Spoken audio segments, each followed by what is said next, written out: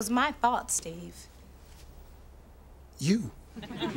I'm glad I read the letter because it gave me a chance to see things from your point of view. And I have been sending you these mixed signals. I mean, first I say I want to take it slow.